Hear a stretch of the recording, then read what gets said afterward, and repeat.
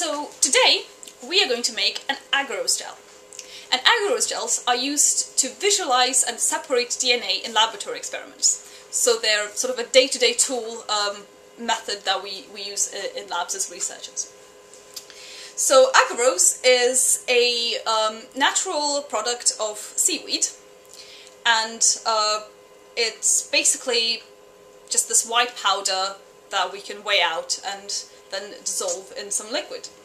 So normally we make 1% gels. 1% um, means we use, for example, 50 uh, milliliters of uh, salt solution in water, which we call buffer, um, and 0.5 grams of agarose. We just put them together into something like a flask, could be any other um, vessel.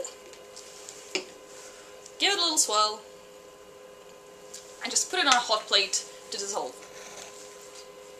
And now we wait for uh, the sort of cloudy um, solution to become clear, and once it's clear we can pour the gel and then it will solidify. So now you can see that our gel is nice and boiling and it's um, all clear, all see-through, there's um, no uh, little fragments uh, floating about, so which basically means that now we can pour the gel. Um, and this is a gel tank. Um, here it is. Uh, it's very quite a simple contraption. There's uh, this, the main tank is the big one. That's where uh, the uh, agarose gel electrophoresis will be performed. Here's the tank uh, where we pour the gel. These are just to, to keep the agarose uh, solution in there, and these are called combs, and they make little wells in the gel so we can actually put our DNA in there. So basically I can carefully pour the uh, agarose solution in there.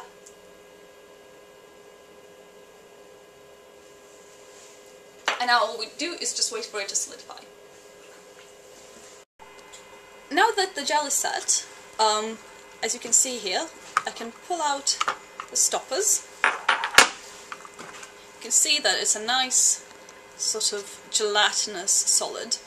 And I can also pull out the comb and you can probably see here that there are these little wells in the gel and that's where I'm going to be putting the DNA. So before I do that I need to fill up the tank with buffer um, and this is important because uh, the salts in the buffer will allow the uh, current uh, from this power pack to um, to go through.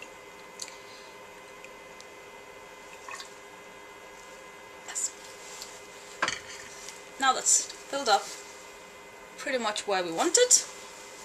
Um, and these are the samples that we have here.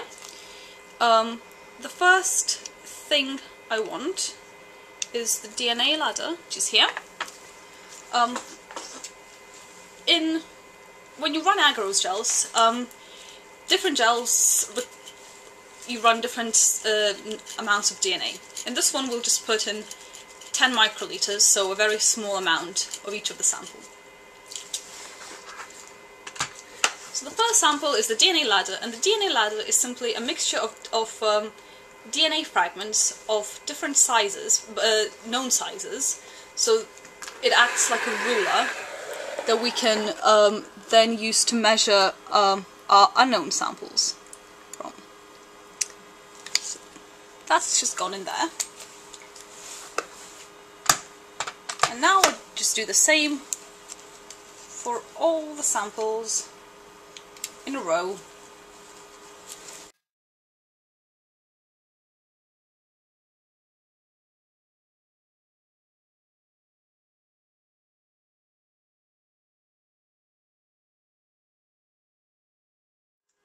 Right, so now that the gel has been filled with DNA, I want to close the lid here.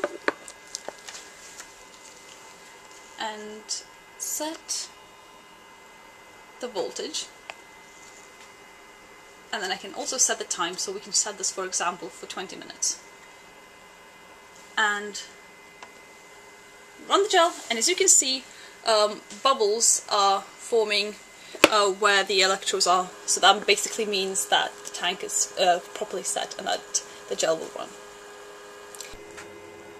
So our 20 minutes are up and uh, we can then open up the tank and as you can see here, if I'll just bring that up to you, um, the dye front of the DNA samples has moved almost, I would say, three quarters of the way um, to the to the end of the gel, which is good.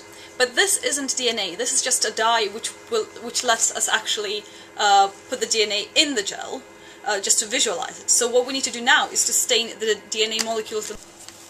So we've taken the gel out, and uh, I'm pouring a dye over the gel, um, which will bind to the DNA molecules themselves, and uh, hopefully in a few minutes let us visualize uh, the, the DNA. After we've given about five minutes for the DNA to stain, we rinse it off a few times just with water and we leave it again for about 20 minutes to destain. Um, and that will allow the, um, the DNA molecules to actually be visualized.